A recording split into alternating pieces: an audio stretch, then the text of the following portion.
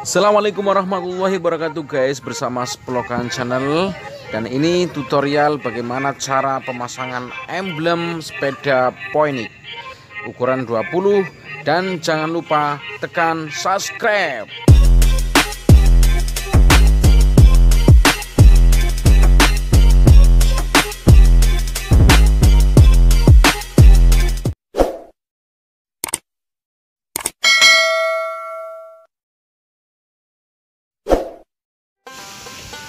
Ya siang nih guys. Kali ini uh, adalah proses pemasangan totok sepeda fem poenik uh, ukuran 20 ya ini uh, ada warna birunya. Nanti akan coba saya kerik dan nanti biar hasilnya lebih memuaskan dan lebih manis. Ayo kita ikuti video berikutnya untuk pengerikan uh, cat warna biru ini ya. Ayo kita ikuti langkah berikutnya.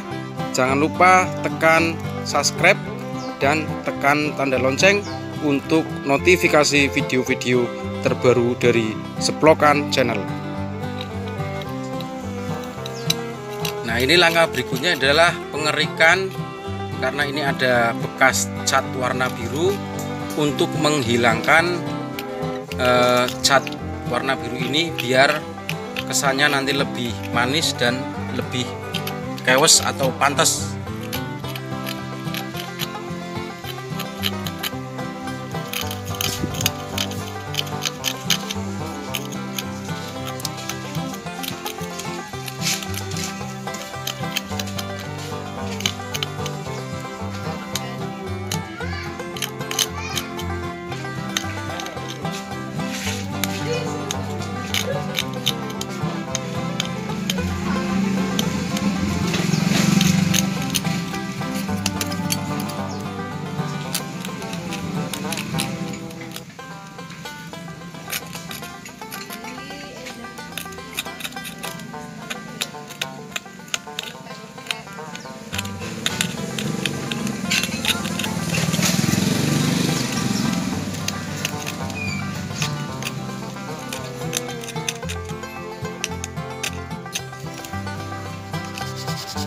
setelah proses pengerikan selesai dan ini tahap berikutnya adalah proses pembersihan sisa-sisa cat warna biru supaya bersih dan terlihat mengkilap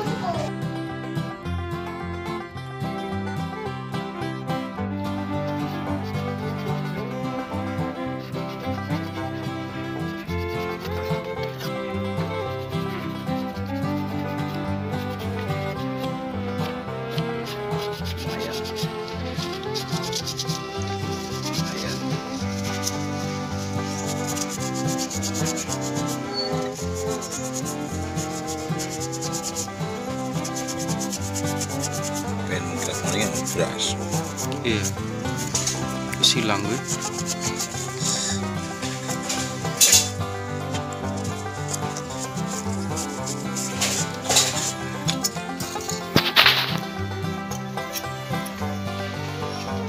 Ya ini setelah beberapa proses eh, Langkah pertama sudah proses pengerikan.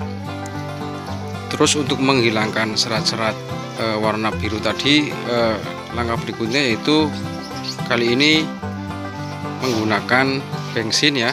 Jadi terlihat lebih agak baru ya. Lumayan masih bisa dipakai. Ini kalau dijual eh, emblem atau totok sepeda ini bisa dijual kisaran 10.000 sampai 15.000 rupiah ya. Ini langkah berikutnya adalah proses pemasangan. Berhubung ini eh, tidak menggunakan klem atau tidak menggunakan baut kali ini eh, menggunakan lem Alteco atau lem Jepang ya. Proses lem ini eh, nanti ikatannya juga kencang tapi hati-hati karena lem Alteco atau lem Jepang itu sangat kuat bisa berbahaya pada tangan atau jari kita. Ayo kita ikuti langkah berikutnya pemasangan emblem atau totok sepeda Poinik ukuran 20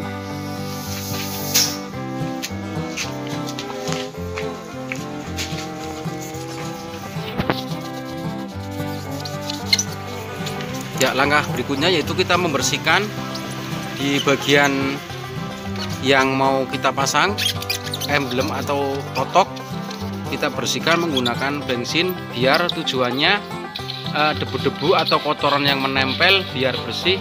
Jadi eh, rekatan lem itu bisa bekerja dengan maksimal. Ya ini proses berikutnya adalah pengeliman. Kita uh, sesuaikan ukuran dulu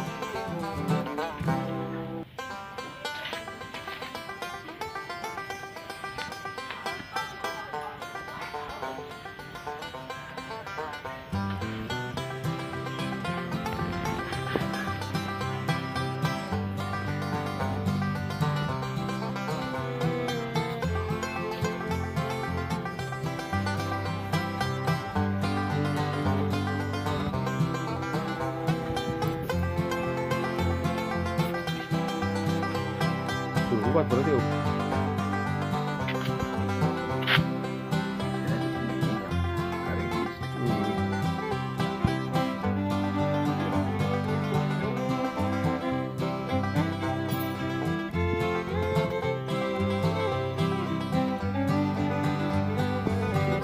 bahkan untuk bagian sela-sela yang belum terkena lem supaya ratanya lebih kuat jadi ketika ada pergerakan atau goncangan dari jalan yang tidak rata ini akan tetap kuat dan tetap stabil.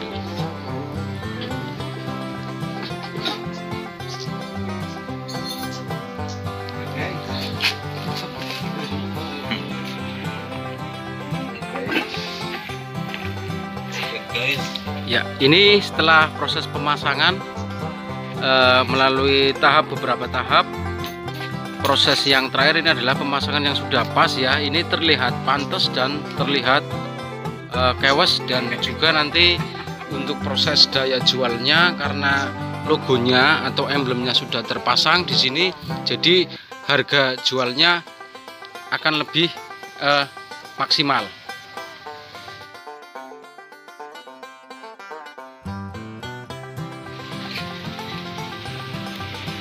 Ya demikianlah proses pemasangan emblem atau totok sepeda mini ukuran 20 jenis sepeda Poinik yang sangat melegendaris pada tahun duluan ya yang saat ini sudah diorbitkan dan modifikasi dengan cat yang baru jadi terlihat elegan dan terlihat mempesona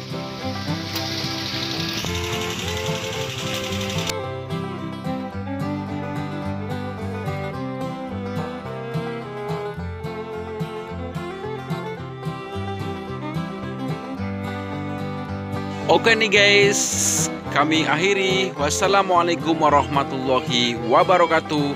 Salam permisi.